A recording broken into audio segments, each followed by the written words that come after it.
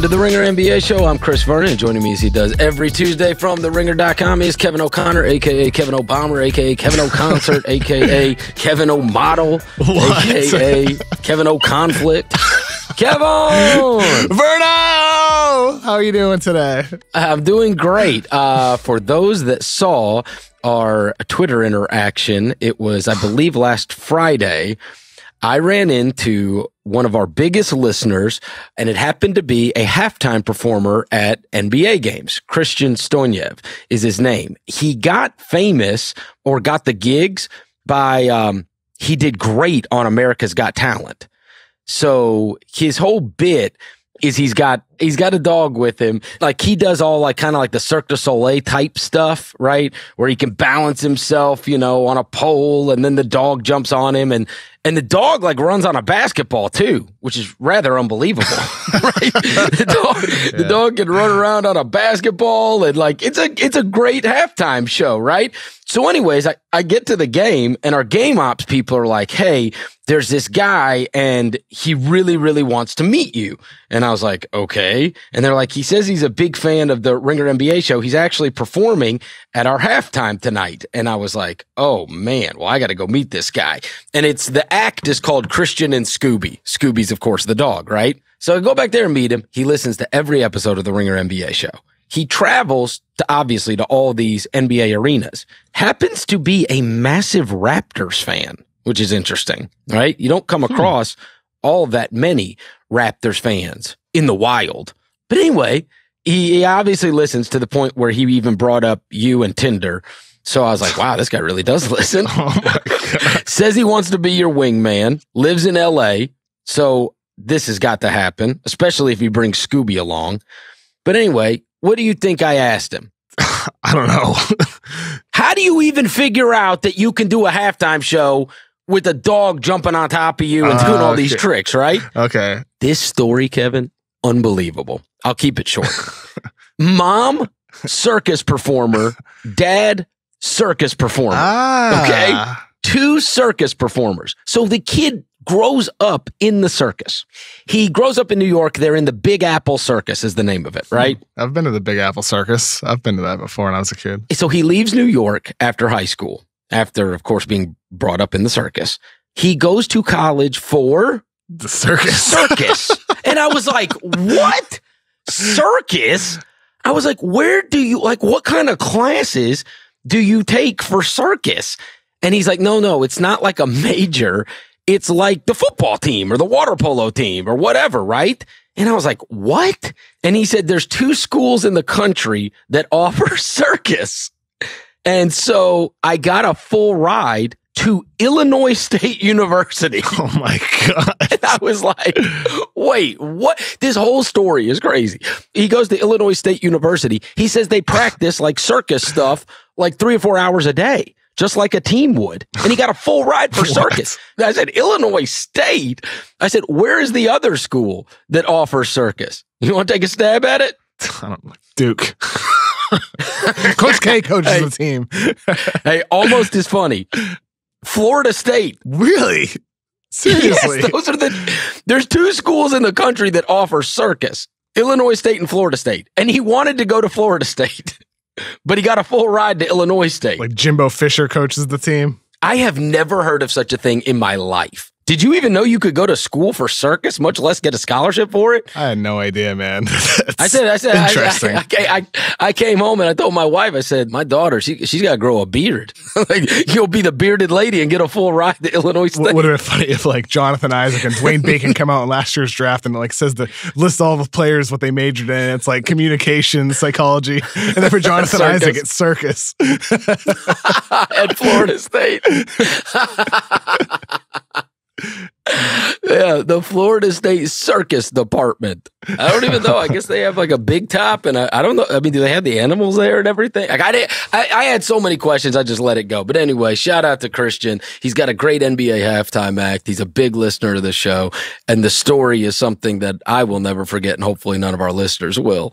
Last night was extremely interesting because by far the most pressing story regarding the outcomes of last night's game was what was going to happen between the Spurs and the Rockets, which of course, especially given the uh, the fact that the Spurs were without Kawhi Leonard and LaMarcus Aldridge last night, and the Rockets have been beaten by virtually nobody. That the Rockets would win, but the impact that that would have, and the impact that has, is for the first time this season. We look at the standings and the Spurs are not involved in the playoffs right now. They sit at 10th as of right now. And the Jazz are now in the playoffs as virtue of winning six in a row and eight of their last 10. And they have had this great record since Gobert came back. They're now in the eight seed. The Clippers are in the seven seed. So the Spurs right now are 10. Do you foresee any circumstance where the Spurs are not a playoff team this year? Yes wrote about it last week where they have an incredibly, incredibly, incredibly tough schedule. Talked about it yesterday with Shea and, you know, Shea Serrano, who I love very much and respect very much uh, and enjoy his books very much. It's a rough spot for the Spurs. If Kawhi comes back on Thursday like he's supposed to and he pretty soon becomes typical Kawhi, then I definitely think they have a real shot at making the playoffs. They do anyway because they're the Spurs. But their schedule is really tough, Chris. It's really hard. You have it says all right, so they're 37 and 30. So they're talking 15 more games. Mm-hmm. You got 15 games. And they've lost three in a row. They've lost eight of their last 10. And they are so you got 15 games left to go. What number do you think the eight seed has? I think that's what we need to examine first, right? Well, let's outline their remaining schedule. With 15 games, they only have two games versus quote unquote tanking teams. They face Orlando okay. tonight, and then the second to last game of the season is against Sacramento. So they have okay. 13 games against teams that are either in the playoffs or really hot or in the playoffs right now. So they have two against New Orleans, two against Washington, one against Milwaukee, one against Golden State. Uh, they face Utah, the Clippers, the Lakers, Blazers. I might, I might, might be missing a couple. They have one more against Houston as well their schedule is just like gauntlet. And then it's really tough. Like they need to they need to win at least half these, right? Maybe more. All right. Well, let's just say, all right. So we'll give the two for certains, which were the Sacramento Kings and who Orlando. We'll give them tonight. Okay. That would get them to 39. Yeah. 39 with 13 left. And you listed off the other ones. And that's the question. How many of those 13 are you going to need? What number do we think the eight seed has? Hmm. I mean, it's going to be pretty high. Like we get three teams right now, 37 and 30. And then you get okay. the Clippers at 36 and 29 and the seventh seed. It's got to be 44 at a minimum, right? It could actually end up being like you needed 47 to get in. Interestingly enough, right now, you know, every day ESPN has that BPI playoff odds that they update every day. And as of right now, they give the San Antonio Spurs a 71% chance to make the playoffs, but they would be the eight seed hmm. and they would have 46 wins. 46 and 36 is the projected outcome for them. The teams on the outside looking in would be the Clippers and the Nuggets. I think I kind of I think I kind of agree with the BPI number here. Well, 538 looks at it a little bit differently, Chris. They they have the Spurs only at 50%, 52% for the Clippers, 48% for the Nuggets. So like they're calling it a toss up for that 8 seed, which is interesting. And well, obviously, we have to throw in the fact that Kawhi Leonard's going to be back, and if yes. he is any semblance of Kawhi Leonard, top five player in the league, you know what percentage of that level player do you get out of him? It's clearly extremely significant, especially with 15 games left to go. And if this is, let's just say that 46 is the number that it takes. I do think, I mean, that would be winning those two that we talked about, and then in those other 13, going seven and six would get you to 46, if that is the number, right? What a friggin' nightmare that would be if you're Houston. Oh God. I mean, can you imagine you finally get the number? Like it would be so wild if you, you fight and you fight and you fight and you get the one seed and then it's like the worst thing ever to have the one seed because Golden State would get to play New Orleans and you've got to play the friggin' Spurs with Kawhi Leonard back. That's true. But, uh, you know, also on the other hand, you might be looking at that like, okay, this is our time to show everybody that we're for real. Like if you're, if you're the Rockets, if you're a player on that team, you're like, okay, people were saying this team actually has a chance at beating us when we just killed them last month. Let's show them like that we're for real. We're, we're a real one seed. We're a real threat. And if you like, if you face the Spurs in round one and everybody's hyping it up as this tough matchup, and then you go out and sweep them, I think that says a lot. Do you want the Spurs if you're the Rockets, or do you just feel like? I mean, Hell, like, I mean, I'm just and saying, like for the challenge of it, dude. For the A challenge. zero percent chance that they sweep them. A zero percent chance they sweep them. And you've got that mental block. This team boned you on your home floor with the season on the line Yeah, without Kawhi Leonard yeah. last year. And I get it. They're different. They're better. They've got Chris Paul now, but they are so much better. They might be better than anybody you play in terms of equipped to give you problems. If you are the Rockets, it would be possible that outside, and, and we don't know what the Warriors, and Steph Curry's had four ankle injuries already this year. Iguodala was just out, obviously. I know he was game time uh, on Sunday, but you know they are, and they're going to be playing hundred games for you know the fourth consecutive season or whatever it is.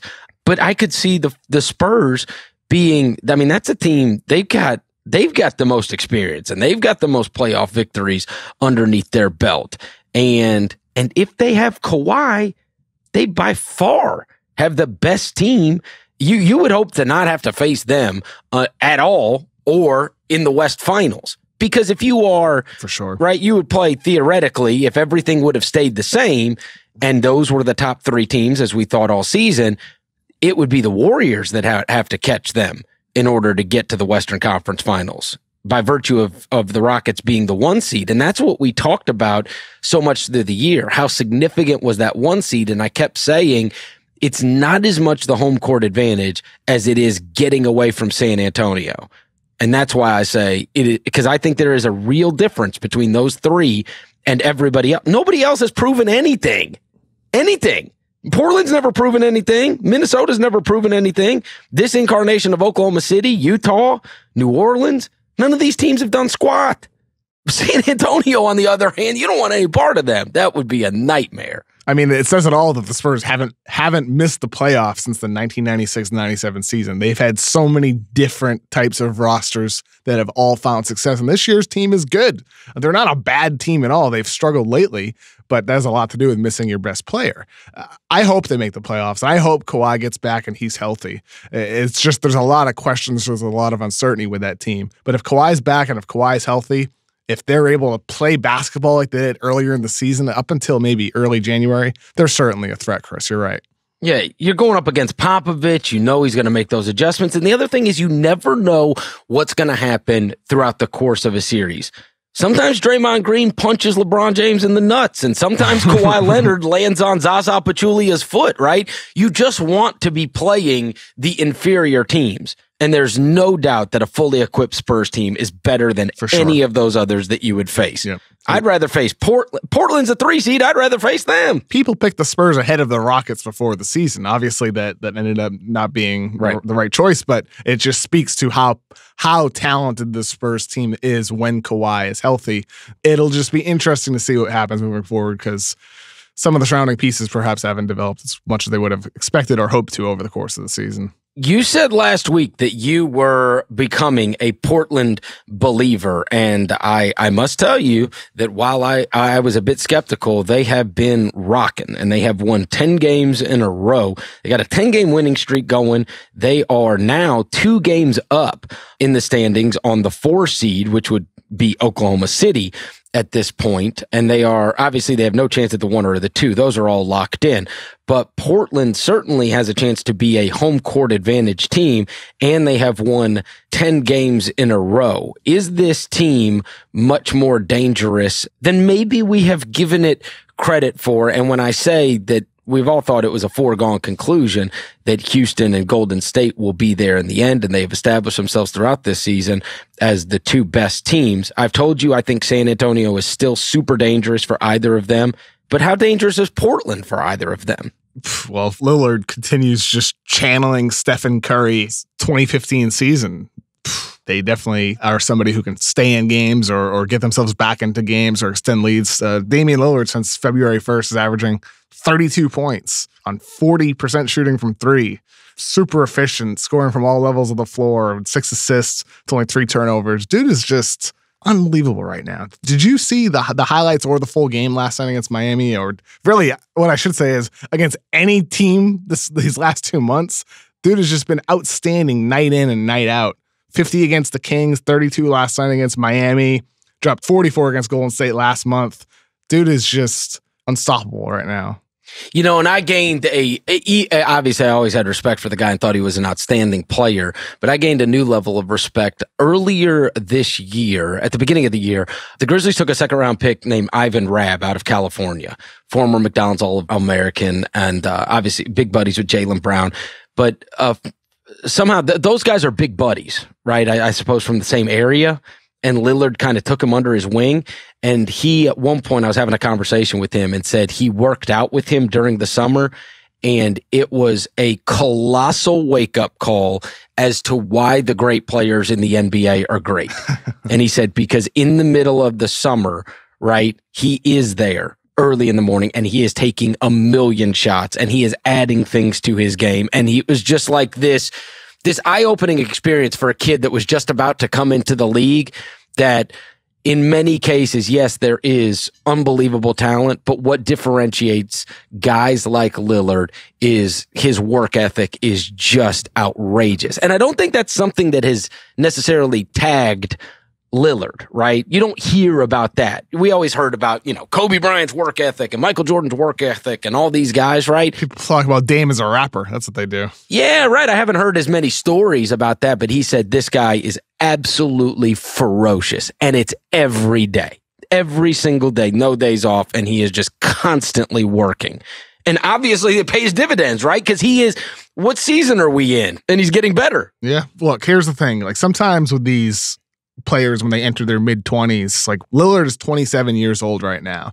A lot of times when these guys are 24, 25, you think they're finished products, but that's not necessarily the case. Lillard today is significantly better than he was just two years ago when he was already at all star level, 25 point per game scorer. He's continued to evolve his game, and that's what the game's great players do they don't stay the same. They constantly reinvent themselves when they're already at the top or when it seems like they're at the top of their own respective skill level. Lillard is somebody still getting better. And right now, he's just putting the Blazers on his back, and it's remarkable to watch. He looks like Stephen Curry 2. not 2.0, but he looks like a clone of Stephen Curry these last two months. Gotta watch him play. Think about Steph a couple years ago. That's what it feels like watching Dame right now. We know that against the Rockets and against the Warriors, you have to hope that they do not shoot high percentages from three. But the other thing is what has been commonplace of, of teams that have given them problems over the years is you have got to be able to rebound, kill them on the boards. And it's damn near every night, Kevin, either Ed Davis or, or Jusuf Nurkic is like 15, 16 rebounds. I mean, they are really, really rebounding, which I think is a big part of why their defense has taken a big tick up this year because clearly the last line of defense is getting the ball back, right? Limiting these teams to taking one shot. And so they've, they've had some big rebound numbers out of a couple of their guys and they don't go to the bench and it be this big downturn on that. I don't know why the hell they were playing Vonleh at the beginning of the year. like that, that experiment ended, but like shots fired and Noah Vonleh. well, seriously, what, can you believe he was a starter for that team? Yeah, no. I mean, that's bananas. It's speaking about rebounding. Dame also averages four and a half rebounds per game. Great rebounder as a point guard. All right, so we got the, that 10 game win streak, and it's not just a bunch of rat teams. Golden State, at Utah, Minnesota, Oak City, Golden State again. I mean, these are good wins, really good wins. It's not like, uh, of course, they're sprinkled in there Phoenix, Sacramento, and the Lakers and the Knicks. Lakers have been good. that's a good win right now. Well, and not only are they winning, they beat Golden State by 17. They beat Miami last night by 16. They beat Minnesota by nine.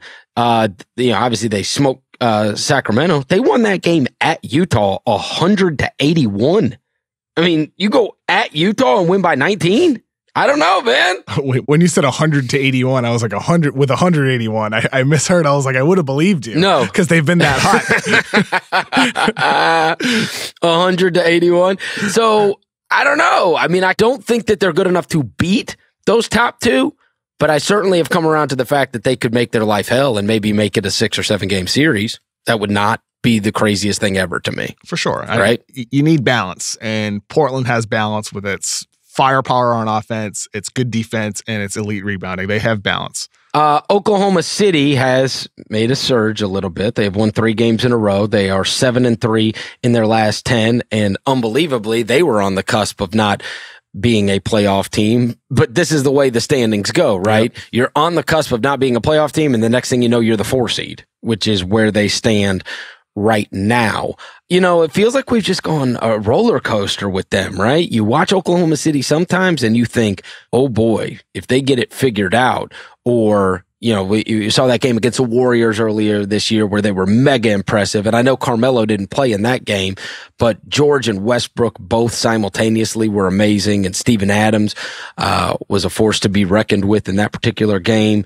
What are we thinking on Oklahoma City? Are we starting to believe that they could be Uh, just talent why because of their level of talent a dangerous team for one of the top seeds in the playoffs? You know no i'm, I'm thinking that they also like the spurs have just an incredibly difficult schedule. They face atlanta tonight. They face memphis last game of the season. But between that clippers raptors celtics heat blazers spurs nuggets pelicans warriors rockets heat that's a lot of tough teams lot of really tough teams. So, yes, like you said, they've won three in a row, but those wins are against Phoenix, blah, against the Spurs, who are struggling right now, and then against the Kings uh, last night. They're surging, but it's against not so great teams at this moment. So they're still only up two games. They're the four seed, but they're only up two games on the Clippers, Jazz, Nuggets, and Spurs. who are tied at seven and eight. So this could flip quickly for the Thunder, just as as it could the other way for the Nuggets or the Spurs or, or the Clippers could surge up the standings too, for that matter. The West is so wacky, man, and that's why I'm looking so much at the schedule. They have these games against the teams that they need to beat. Those are going to be the games that ultimately determine who gets in. If the Thunder beat the Clippers, they take care of business against the Spurs and the Nuggets, they'll be in for damn sure. But if they drop those games, week next Tuesday, next Tuesday, depending on how they do the rest of this week, we could be talking about the Thunder being on the outside looking in of the playoffs. All right, pull those up real quick because, uh, all right, so you got the Thunder one up right now, right? Because one of the things that has been interesting is they have been an under 500 team on the road, but have won virtually two out of every three games at home.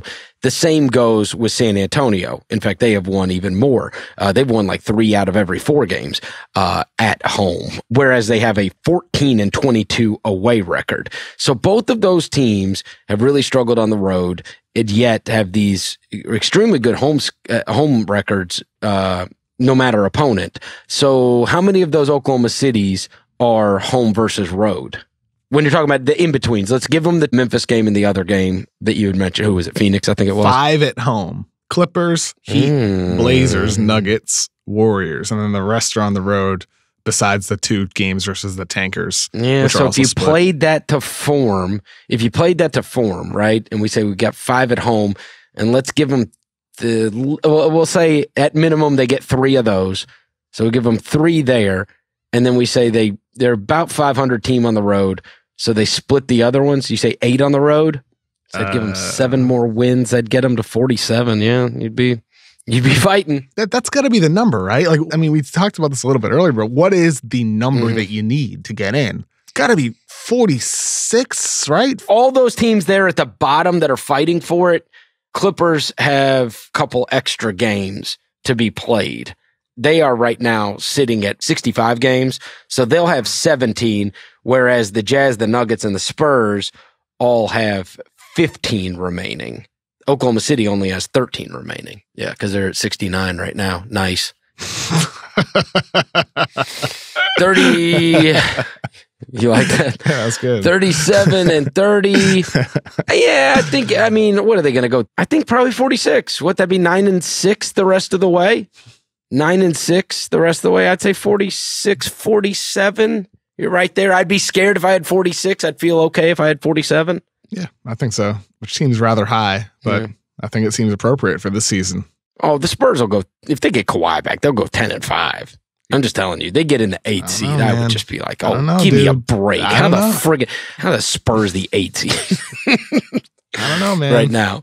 I mean, there's You don't know. You don't know if they're going to go 10 and 5 the I rest mean- of the way. like I said, you got to look at the other schedule. Like a team like the Nuggets, they have a run where they're facing the Pistons, the Grizzlies, the Bulls. I mean, there's a lot of tough games left for any of these Western Conference teams, but like that one extra game against a tanking team might make a difference, or uh, not against a tanker necessarily, but a, but a, a poor team. For sure. All right. Let's flip to the Eastern Conference right now. And I'll be damned. The Pacers are the three seed as of this morning. I mean, how crazy is that? At the beginning of this season, I mean, there is always somebody that wildly outperforms what we think they are going to do. But this is, this is another level. For the Pacers to be the third ranked team record wise in the Eastern Conference. I mean, unless you're talking about like the first 10 games of the season. But when we're talking about they are, they have played 67 games so far. And right now they are the three seed with Cleveland being the four seed. They're a half game up on Cleveland as time of recording. I feel like they are the, a rather unbelievable story. I mean, I don't think, I guess maybe New Orleans. I'd say New Orleans without their success without Boogie and the Pacers would be the two biggest stories in terms of outperforming what they thought. We clearly thought the Pelicans were dead without Boogie, and that has been the total opposite of what has happened. And the Pacers, I mean, I think right now they have 39 wins with 15 games remaining. And I think at the beginning of the season, if you would have said, I mean, their over under number probably had to be close to that, right? 39. They're probably supposed to be about a 500 team. Is that correct? Yes. And they're only getting better too, Chris. Only getting better. Miles Turner, 21 years old. Domantas Sabonis, 21 years old. Victor Oladipo, 25 years old. That that team, a team that I was dead wrong about. A lot of people were dead wrong about after the Paul George trade. I mean, like we talked about over the course of the season, like in the article I wrote, Oladipo transformed his game. Sabonis, Turner have developed. Turner lately more so than over the course of the full season, but they're getting contributions from their key guys, but also their contributing players. Like Thaddeus Young has been solid for them. Collison off the bench, Glenn Robinson third, they, they Lance Stephenson, dude. they're getting a lot of Yep. strong contributions up and down their roster, and they're not a real contending team. But the strides they've they've taken this season are very encouraging. When they'll actually have a little bit of cap space in the coming years too. I just looked it up. It was 31 and a half. I mean, they have smashed that already.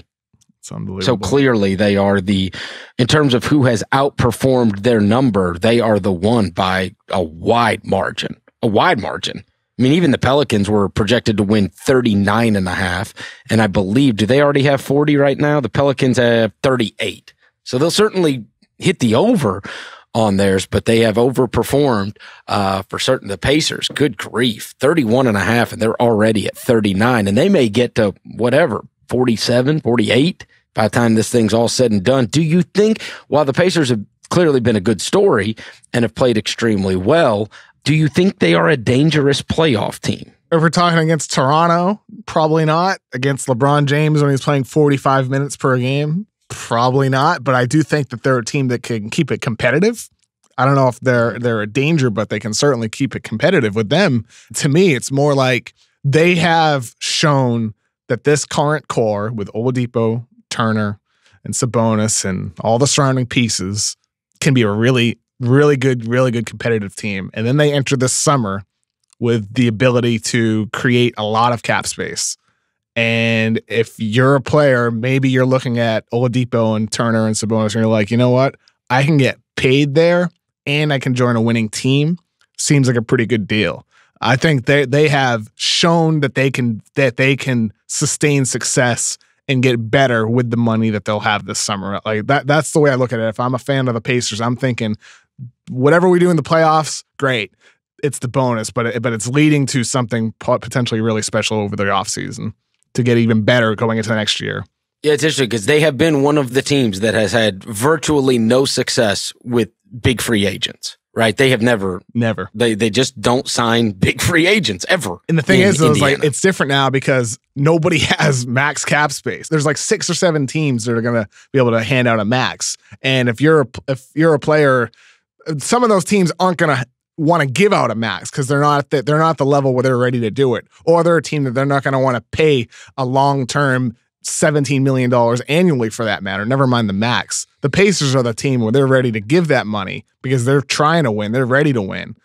And I, I, I don't know. I mean, it depends on what they want to do with their non-guaranteed contract. Bogdanovich, Collison, Jefferson, all non-guaranteed, and then their younger younger players also have non-guaranteed deals. Team option for Lance yeah. Stephenson. So a lot of their core guys off the bench have options or non-guaranteed deals, but they do have the ability to create a lot of space.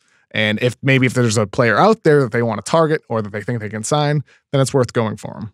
All of this stuff is so fluid. I mean, even as of right sure. now, the different yeah. uh, the seven the seven seed as of today is the Milwaukee Bucks, and they are three games back from being the three seed. So within you know by the time we speak next week we could be talking about the bucks being the three seed you just never know with how fluid all of this stuff is that being said i saw the bucks in person last night brandon jennings was just out of yes. his mind i mean came back from china and was just he he kept putting and i get it it's the grizzlies they lost 18 in a row um, but he was but he was he was everywhere i mean he was rebounding he was finding guys across the court court. He was putting pressure on the defense all the time. He looked in great shape. He's been playing over in China this year, but just, um, I mean, my first impression was holy mackerel. I could see him, you know, you get into a playoff game, he could come off the bench and maybe get you, you know, 10 or 12 real quick and maybe, you know, certainly, uh, because he's so damn fast and they've got some real runners on that team. Obviously, Henson finishes stuff and you've got Giannis that he could help them. And inevitably they'll get Brogdon back too. If he can get in the rotation and then you have Brogdon, who you can also play alongside Bledsoe, you're talking about two rotation guys possibly that you could throw in a, in, in, in a theoretical playoff lineup, right? That could get minutes for you. The big thing that stuck out to me last night and I tweeted about this. I mean, it's 17 years of a team that I have covered.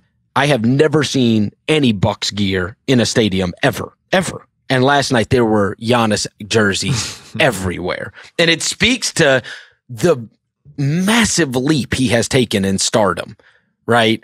That there would be that much gear in a crowd. It was a real wake up call in terms of how big he has gotten nationally. And even in the NBA smallest market, you can look around and see his jersey everywhere, just like you see when it's Russell Westbrook or LeBron James or some of the other superstars that come through town. The other was I was very focused on Jabari Parker. I know you loved Parker once upon a time. Yep. I did too. I feel horrible for the kid because of his injuries. Yeah. Oh, yeah, I of mean, course. Yeah, yeah. He's lost, you know, basically two seasons. Yep already, and he's clearly coming back still from all of that, you know, whether it is the conditioning or whether it is the leaping ability or trusting yourself to drive hard to the basket and do something, you can see that it's not just playing without any, without any brakes on. And I really wonder what kind of decision is going to be made this summer and what kind of money Jabari Parker uh, commands slash gets. What do you think? Well, just quickly on Jennings, it's just something else to me to see how poorly Derrick Rose played on and his debut for the Wolves compared to Brandon Jennings. Just the, the disparity in the performance is remarkable, and that may, may not continue. Uh, obviously, Rose might be a little bit better than he was, and Jennings won't be as great as he was, but it's just something to see how how different a signing can impact the team when they first get back. But as for Parker, he's exactly the type of guy that I think for not necessarily maybe for the for the Pacers, but if I'm a team with with cap space this summer, I'm thinking, yes, Jabari has suffered the two torn ACLs, but when that guy's healthy, and if those torn ACLs are something that's just going to be in the rearview mirror, he's a really good player, man. Like you said, he's still getting back. He's not quite what he was, but he's shooting the hell out of the ball since he has returned. Granted, it's a small sample size, but that was always the big thing with him is the development of his jumper. And even despite the injuries, each year his three point shooting has gotten better. Each year his free throw shooting has continued to improve. He's a guy who I still think has a higher level. He's only 22 years old, turns 23 this week. So only going to be 23 years old when he's a free agent this summer. interesting fit with the Bucks. I'm not sure if he's the guy you want to pay into that slot based off the composition of your roster, but he's very, very appealing to me if I'm another team in need of a scorer. Well, his age, it, it is so crazy when we think about, like, when you mention stuff like that and you talk about how young that kid still is. And, and we just get so used to him, right? And they've been in the league for a little while. And then sometimes you, there's this shot of realism of just how young they really are. This happened to me last night and this was, this was mind blowing. The aforementioned Dillon Brooks, right? He's asked after the game about guarding Giannis Antetokounmpo and, you know, about how he's been in the league and he's, you know, obviously one of the great players in the league. And he's like, you know, but he's just a year older than me. And I mean, it stopped me in my tracks. Or the guy we talked about earlier, Damian Lillard. He came into the league at age 22 and Jabari's still just 22 now. Crazy. I mean, think about that. Giannis is a year older than a kid that's a rookie. I mean, I was like, you got to be kidding me. And you think about the way he has developed, you know, since he has been in the NBA, and you think about how young he still is. And I mean, what the hell is he going to look like when he's 28? My God.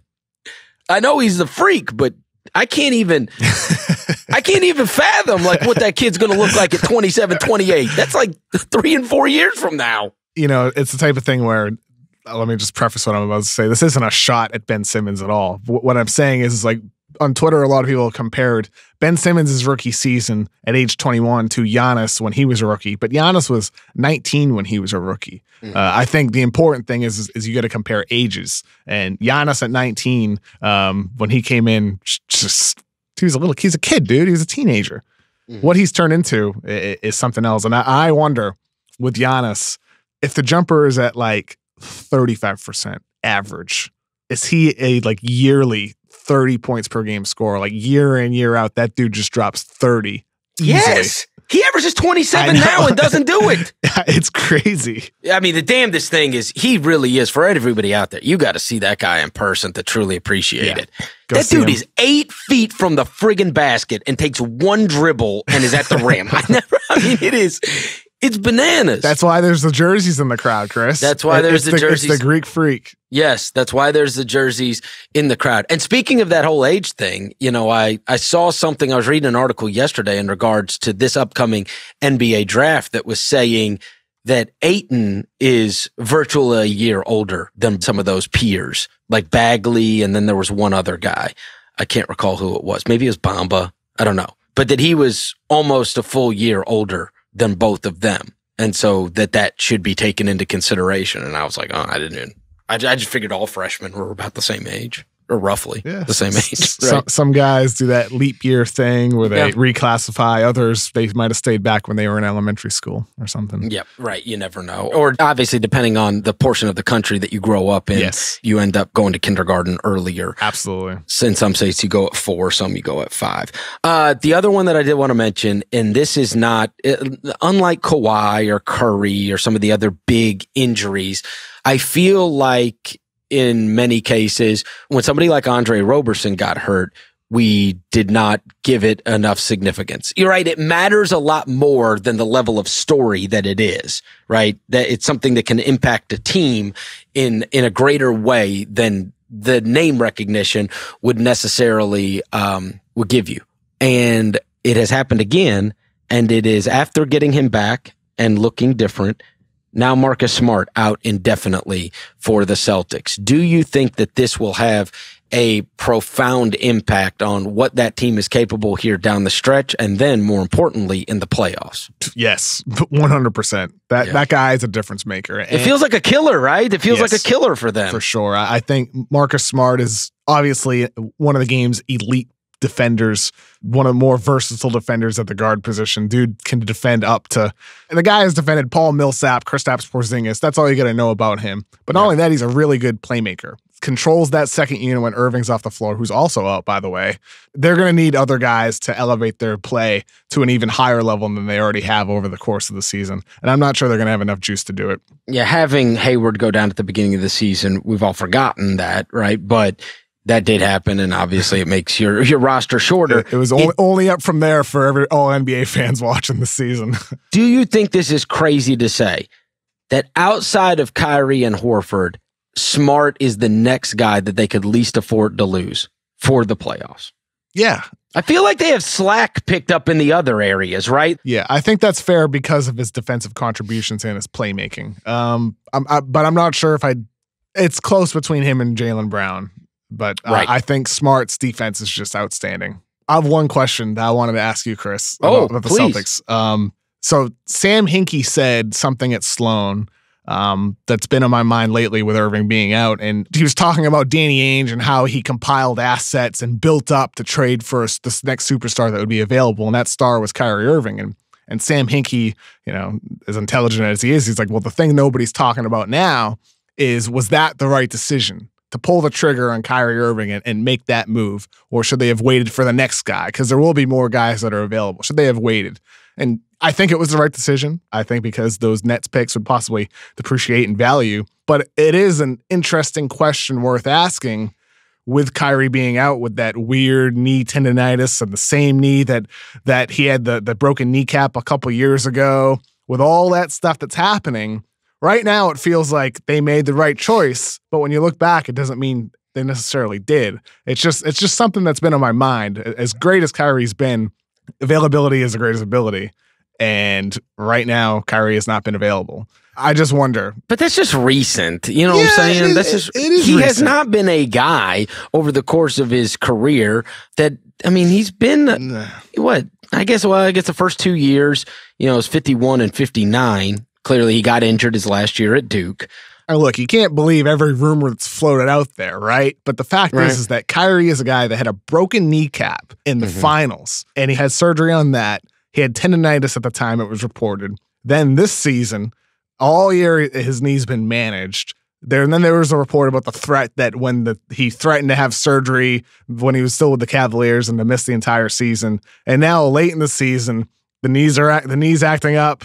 He's starting to miss games. He he missed the Bulls game, and then against the Pacers on Sunday, he played only the first half and didn't come back, and now he's out.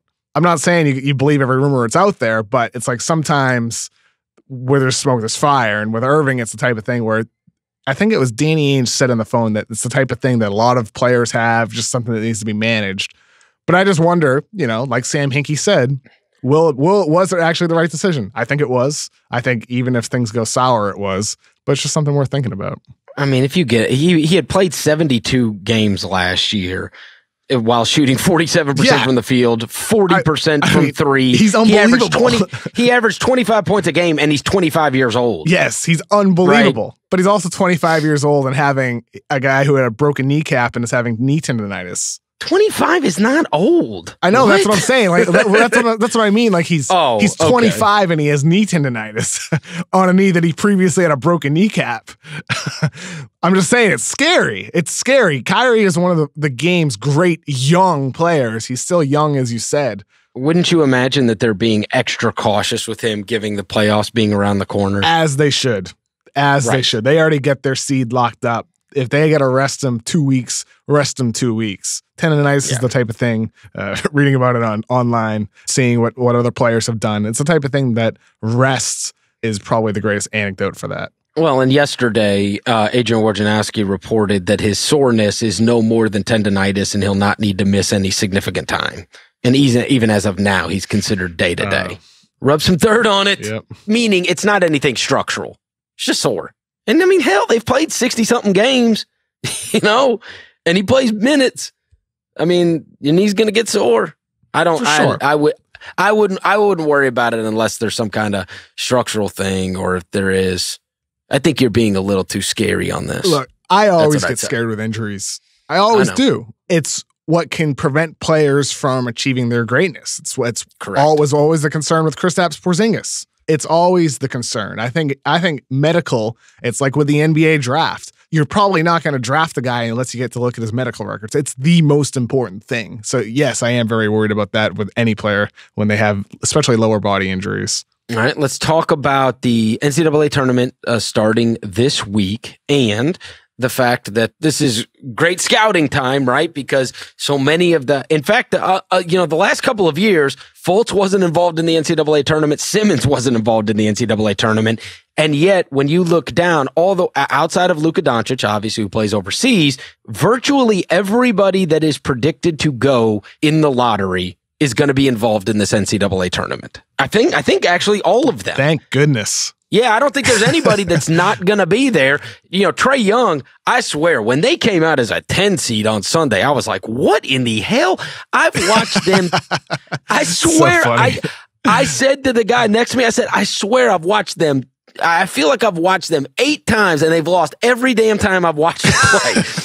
every day. They and then they said, they said they've lost 11 of 15 or something like that. I'm like, I, said, they I said, stink. you know what? I said I wasn't wrong. They really have lost every time I've watched them. Like I like that wasn't hyperbole. Like they really have. I went back and looked. I said, I think, I think they've lost every single game I've watched them play in the last, you know, since January. All right, so they made it as a 10 seed. So that would have been the one that was kind of, is, is Trae Young going to be involved or not? Most of the others were all, sol- uh, you know, teams were all solidly in. Who are you most excited? Because you know it comes out and then you see the matchups. I know NBA draft scouts were all salivating over the possibility of Arizona playing Kentucky in round number two. If Kentucky can get past Davidson and Arizona, I forget who they play, but whoever their first round opponent is, if they can get past them, that you would you would see those two uh, meet up. Was there anybody else that had jumped off the page? Their particular matchup was fascinating to you of the draft class. Well, I'm hoping we get Duke versus Michigan State. That's a matchup I'm really hoping we get at some point. Arizona, Kentucky is the one. I mean, even yeah, talking to people last yeah. night, it was like that. And and I think it's it's in Boise, Idaho. Yeah. everything good is in the Midwest. Like San Diego, I, I, was supposed to be going to the games in San Diego, and the games there are terrible, really bad for scouting. Well, and I I live close enough to Nashville, and it's terrible too. The one seed is like Xavier. It's like, all right, what am I going to go do? Watch Trevon Bluiett? Let's see, who, who you get in Nashville? You get Nevada, no, Texas. Porter. Porter yeah, is yeah, the one. That, that could be worth it. Go see Michael Porter. Yeah. Boy, I tell you Porter. this, Kev. We talked about. Listen, I know you were saying that there was no downside to him coming back. I I disagree after watching the SEC tournament. because here's the thing, and this is what yeah. I've always said: the unknown is always your your biggest friend. Because I can envision what you could be right? I can watch your high school stuff. I can watch when you were healthy and I can sit there and I can say, I can imagine anything. And usually what I imagine is great, right? And then, but I can't imagine that anymore if the reality is in stark contrast to whatever my vision was.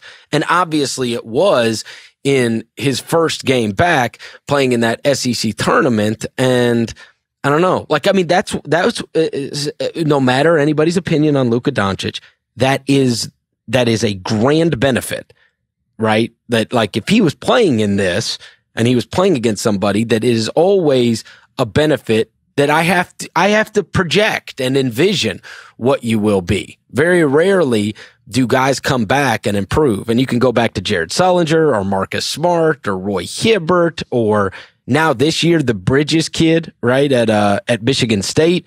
Or I remember Thomas Bryant, who, you know, was thought to be a possible lottery pick, comes back and it was a problem. Ivan Rabb, who I mentioned earlier. I mean, the, the more, the more we see you, the less of the unknown there is. And that seemingly works against you in the draft over and over. I'm not saying nobody improves their draft stock. I'm just saying in all too many cases, the unknown is greater than whatever becomes known because we usually overrate the unknown. You know what I mean? Yeah, I feel, I feel you. And I, I think with Porter, this is something we talked about briefly on uh, Friday's episode of Draft Class. Uh, Tjarks, Tate, and Titus were all on at the same time. And we, we talked about Porter's game he had played on Thursday and he stunk, as you say. Like he didn't look good at all. And yes, you have to you have to view that within context. The fact is that it was his first game back after missing games for months. So you can't overreact. But Porter, what he showed in that game, are some of the same exact weaknesses that he had in high school. He wasn't very physical, had trouble creating space in the half court. Not as that he's a good athlete, but not a great athlete. His offense is largely predicated on hitting, on taking and making tough jumpers. And that's what we saw on Thursday night. Yes, he struggled, but maybe maybe that just shows how far he needs to actually go. Um, not just as a college player but as a player in general. So i will be curious to see how he performs this week. I hope he has a more efficient game because he's certainly capable of it as a scorer but he needs to show more than just the ability to hit tough jumpers off the dribble also, I would have kind of tried to blend in a little bit. I know that this is, you know, your stock is on the line, but like that you. team has been pretty good without you, and they've obviously had other leading scorers without you. And for him to come, I was like, pass the damn ball, kid. You know what I mean? Like just blend in, right? Come back. That's what I mean. he's not a passer. Like show it. Show you can do other things too. Yeah, I mean that Robertson kid averaged like you know whatever sixteen a game this year. I think it was. You know Porter did, he played what two games? I think he played two, he, two he, games. He played two minutes in game one, so he didn't do much playing. All right, and then and then he and then you come back and what do you take like seventeen shots or something yep, in seven, the game? Seventeen shots in twenty three minutes. Or eighteen shots. Is 18, six for eighteen. I mean, he did have ten rebounds. I give him that, but I mean, five for seventeen. I suppose it was in that Georgia game. The twelve points, eight rebounds. Yeesh. you know what I mean? All right. So you are most looking forward to. You hope we get to see Duke versus Michigan State that would be a great, God bless. What an evaluation time for both Jaren Jackson and Marvin Bagley, and who Wendell are predicted Carter. to be. Yeah. Oh, yeah. And Wendell Carter, right? Yeah. I, I, you were very effusive in your praise on Carter. You're a big Carter fan. And who was your comp? I think you said Al Horford. Am I right on that? Yeah. I think, I think Horford, that's going to be the guy, one of the guys we have in the, in the draft guide as a comp for him. And then Miles Bridges also on Michigan State uh, alongside Jackson. A lot of guys in that game. All right, let me ask you about one particular player before we get out of here. Okay. And that is Villanova's Mikal Bridges. Okay. Um, he is the one amongst all of these kids that are supposed to go high in the draft that is an upperclassman, right? He's a junior. And so for sure that will be held against him as it is always, right? He's older than all of these other guys. Um, projects obviously to be one of those three and D type wings on the next level hit big, big shots in their conference tournament game. And man, I watch him and I think like, you know, when I talk about one of the things you wonder is, is this guy going to suck? Like I see very little possibility that he's going to suck. It's just a matter of how high the ceiling is. Can you foresee a high ceiling for Bridges who, I mean, like I said, it's going to be held against him that he's you know, a junior, whereas the rest of these guys are significantly younger, but seemingly a fantastic player for sure. I think with Bridges, think? it, it, ultimately comes down to who, to his development as a ball handler and as a as kind of a dynamic scorer off the dribble. He certainly can hit spot up threes. He certainly can defend. He certainly knows how to play his role. He's competitive, unselfish player. Um, can make he's a, he moves the ball well as a passer, not a necessarily a playmaker, but he makes the right plays for him, it's how much does his ball handling develop and how much does his how much does he become a, a good shooter off the dribble? And he's shown flashes. The potential's there, but but it, it doesn't necessarily mean he'll get there. Uh, his shot off the dribble isn't quite the same as it is off the catch, um, but he can certainly improve as he has each year at Villanova. He's a very, very intriguing player. And yes, you're right. The age will be used against him, Chris.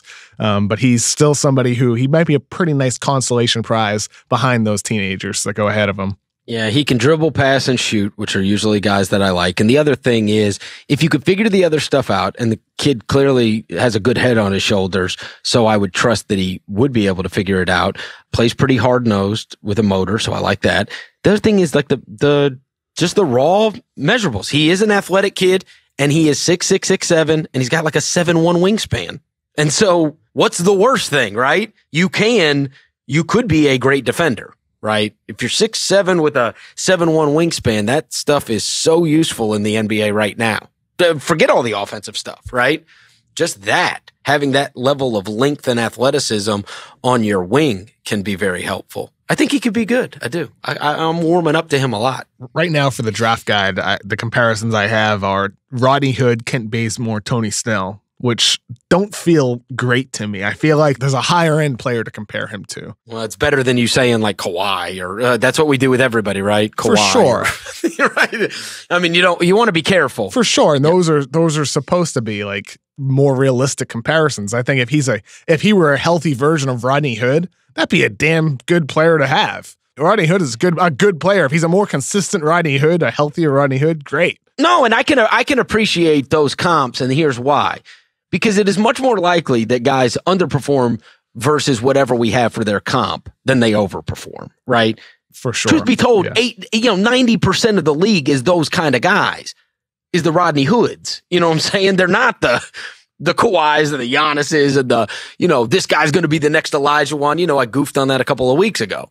This guy's going to be the next Bird and this guy's going to be the next Ewing and this guy's going to be the next Olajuwon and this guy. No, they're not. Well, sometimes right? they are. Mean? Sometimes they are, Chris. Sometimes they are, but sometimes they have, are. That's what the players are today. But I'm saying that can't be the comps for everybody. For the sure. comps can't yeah. for everybody can't be. So I I can appreciate when the comps, Uh, you know, are more attainable right? Yeah. When they are more like, hey, that's a good player. It's nice to have Rodney Hood on your team. That's a good player. For sure. Right? Like that that's kind of the goal that that I have with these comparisons is like, yes, sometimes there you see like for DeAndre Ayton, like you might see Patrick Ewing's name on there, but you also see a lower end guy as well. You, you need different degree like look, there's different outcomes for all these guys.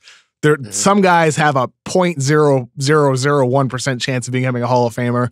Some guys have like a 5% chance. I think it's the guys with the 5% chance that you can put the high end comp on there. Um, but you also need to balance it with kind of the lower and more realistic outcome for that player. Yeah. I'm not sure that any of these kids are going to be an NBA superstar. That's what I'd say.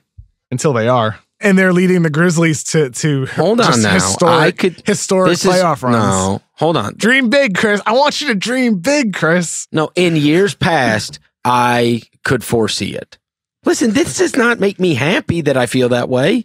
I wish there was a LeBron. I wish there was an Anthony Davis. I wish there was a Karl-Anthony Towns people thought Wiggins could be a superstar or Parker could be a superstar or people thought Wiggins that was overrated, man. Simmons he, could was, be a superstar, wait, but people thought Simmons, that that was Simmons possible. is becoming a superstar though. That's what I'm saying, and I don't think that's true with these kids. I just don't. So you don't still don't see it with DeAndre Ayton. Like you watch no. him put up 32 and 18 on USC, just completely punked them. He punked them punked USC. He is so much bigger than everybody oh, on the court. Come on, man. It's more than just size with eight. look at his look at his steal rate. Look at his block rate. Oh. These things.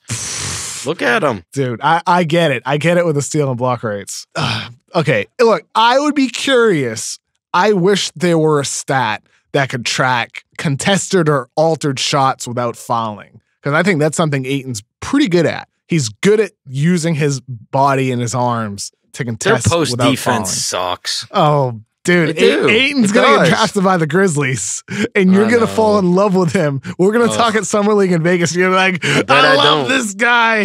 He's the I best. Don't. He's great off the court. He's funny. He's engaging. I bet I don't. Like, I can't wait to watch him for the next ten years. That's what you're gonna say to me. I bet I don't. I bet I don't. Oh no! So you're telling me you're you're gonna come? You're like he's he's an idiot. No, he's just scared. He, no, he, just... he, reminds me of Thabeet.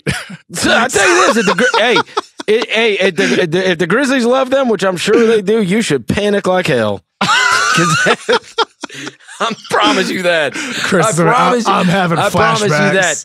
I mean, come on, man. Every time. Uh, all right, I don't want to get everybody all mad because I already get enough tweets about it. But I mean, half the time I watch the guy, he's playing again. It's like me playing against my son. Like, of oh course he gets God. the friggin', Of course he gets a friggin' ball every time. Like I mean, I, my kid's never getting the ball. Uh, I'm, I'm I'm so much bigger and more physically imposing than him. He ain't getting the ball. You know what I'm saying? He played. Listen, I didn't get any tweets after their game against Colorado because Colorado's got a seven footer and a six ten and he fouled out and had eight points and did dick. You know what I mean? And then all of a sudden he goes big against the team whose biggest guy is six six, and everybody's chirping me. Fuck him.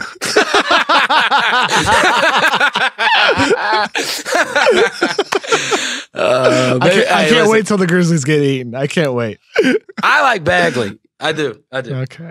I like motors, Kev. Yeah. I like motors. I like guys that I feel like when the chips are down, they're going to make the big play. I think it's the most underrated thing of any of these guys is like who goes hard all the time. That's why I love him and that's why I love Sexton, which by the way, almost puked when you said he could fall out of the lottery. Yeah, Good well. grief. Hope you saw him lay waste in that SEC tournament. Pretty damn good. Yeah. Pretty damn stick good. With, stick with me, Kev. Watch DeAndre Ayton carry his team to the friggin' title. I'm sure he will. I, I picked them in the uh, the ringer you bracket. really? The- we, we did ringer brackets, and I, I picked Arizona to win it all. I like that shit's random, dude. Nobody loves DeAndre Ayton more than you. No, there were definitely people who love DeAndre Ayton more than me. I don't think so. I think you. I think you are the biggest DeAndre Ayton fan in No. the whole world. I'm not. I'm pretty sure. I see you tweeting about him all the time. DeAndre Ayton this, DeAndre Ayton that. DeAndre Ayton, DeAndre Ayton, right? it, don't overthink it. DeAndre Ayton's the best big. I wish he was uh, playing. I wish I, I'd give anything if they were playing Duke. I hope he faces Bagley. Oh, that's the final I have. I just I just picked the NBA scouting dream. really? That, that's like all I care about. it's Arizona Duke in the final. It's not a real prediction. It's just what I want to see. that is what you want to see. Yeah, that's So exactly just- what I want. Did you really pick them to beat each other in the final? Yeah, Arizona versus Duke in the in the final. Yeah, I don't care who wins. I just want the best scouting matchups. So here, I just want to see if I'm going to get chirped in the first uh, in the first round of this thing. Does a Buffalo have anybody on their team that is over six foot five? Because Oh that is usually almost every game that I watch. That these it's like little kids he's playing against. well, our Um, little kids are all teenagers. I understand. I get it, That- right? that's But why. I mean, he, that's why with like Luka Doncic, he's playing against grown men overseas. all right, Buffalo. Yeah, the tallest guy on their team's six eight. They had three guys, 6'10", 6 foot Who, eleven. no, who Buffalo? yeah, No, those guys don't play at all. yeah, yeah, yeah. They play like thirteen minutes per game at the most. Yeah, you're Yeah, right. they don't play. So I mean, their biggest guy that plays any minutes is six foot eight, Buffalo. Now Kentucky, on the other hand, if they can get to Kentucky and they play against Kentucky, Kentucky, we know they got some trees in there. That's for sure. Not as big as they usually are, though. Listen, they go across that front. Everybody they bring in is like over six five. You know, even their like wings are like six. Like Knox is six nine. PJ Washington six seven. Wenyen Gabriel, who my God, did you see him catch fire? Gabriel was it Bama? Yes, Bama. He was like seven of seven from three. Wenyen Gabriel. Kentucky's intriguing. They they, guess they have some very intriguing players on that team.